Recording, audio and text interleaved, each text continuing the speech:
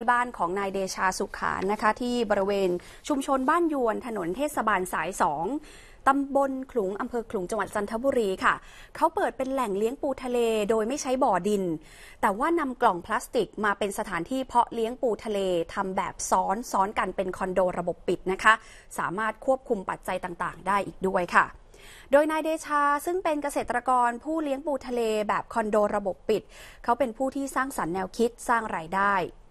ก็บอกว่าเริ่มเรียนรู้วิธีเลี้ยงปูแบบคอนโดระบบปิดมาจากอินเทอร์เน็ตค่ะ ในกลุ่มผู้เลี้ยงปูดำเริ่มต้นเลี้ยงในครั้งแรกประมาณ 50 กว่าตัว ก็ลองผิดลองถูกมาหลายแบบนะคะ ครั้งแรกใช้น้ำประปาผสมเกลือ แต่ไม่ประสบความสำเร็จค่ะ ปูก็ตายหมด จากนั้นก็ศึกษาหาความรู้เพิ่มเติมมาเรื่อยๆ เปลี่ยนมาใช้น้ำเค็มธรรมชาติ จากในคลองใกล้ๆบ้าน จนกระทั่งเริ่มประสบความสำเร็จ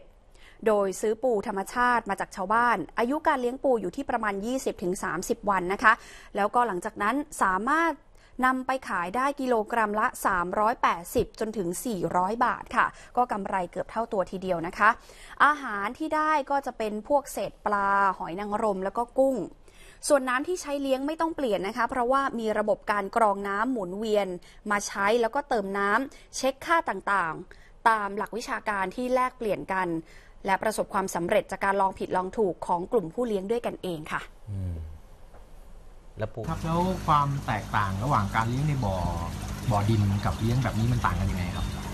ข้อแตกต่างกับการเลี้ยงบ่อนะครับคือหนึ่งเลย การเลี้ยงบ่อเราสามารถไม่ไม่สามารถควบคุมควบคุมจำนวนปูได้อืมอย่างเช่นปล่อยปูไปหนึ่งพันตัวเสียตาร้อยเปอร์เซ็นเราขึ้นมาเต็มที่ตามที่คนเคยเลี้ยงก็คือขึ้นมาประมาณ 40-50%เปอร์เซ็นต์อีกห้าสิบเปอร์เซ็นต์หนึ่งเลยอาจจากการถูกขโมยสองเลยกินกันเองสามเลยเราปล่อยไปแล้วก็อยู่ในรูเอาขึ้นมาไม่ได้ครับ ครับ แต่ระบบนี้คืออยู่ร้อยเปอร์เซ็นต์ถ้าไม่มีคนมาเปิดถือว่าการขโมยปูยากขึ้น ถ้าไม่ใช่คนที่ชำนาญจริง ๆ จะเอาปูออกจากคอนโดไม่ได้ครับผมครับ น่าสนใจทีเดียวนะคะ ประหยัดพื้นที่ด้วย มีระบบป้องกันขโมยด้วยนะ